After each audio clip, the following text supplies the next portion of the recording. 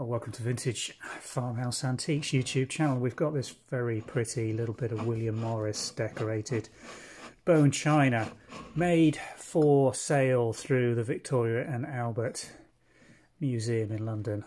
Iris is the decoration, pattern reference. It's a William Morris collection piece made by them towards the end of the 20th century and into the beginning of the 21st. It's no longer available from the museum. It's not a line that they've continued. So uh, only available on the second-hand market now.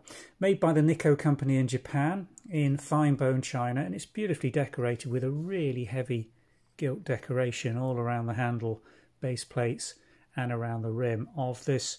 Could be a coffee can, could equally be a small mug or teacup. It's sort of in between size where it's too big for espresso and too small for a decent sized frothy coffee or cup of tea. But these saucer plates worth looking at. Just look at the embossed gilt work around the rim. Beautifully done, lovely condition. Lovely colours on the blockwork in the print by William Morris. And again, beautifully marked and in mint condition. A lovely thing, very pretty. Cabinet china really. It's something you could use on a daily basis, but tends to be something for collectors.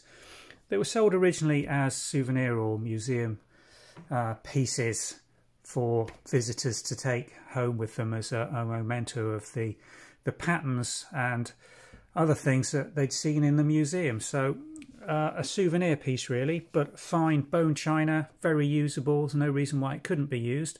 Uh, nice piece of William Morris design. Follow the description link below, takes you directly through to the Vintage and uh, Antiques website listing for this teacup and saucer. Thanks for watching.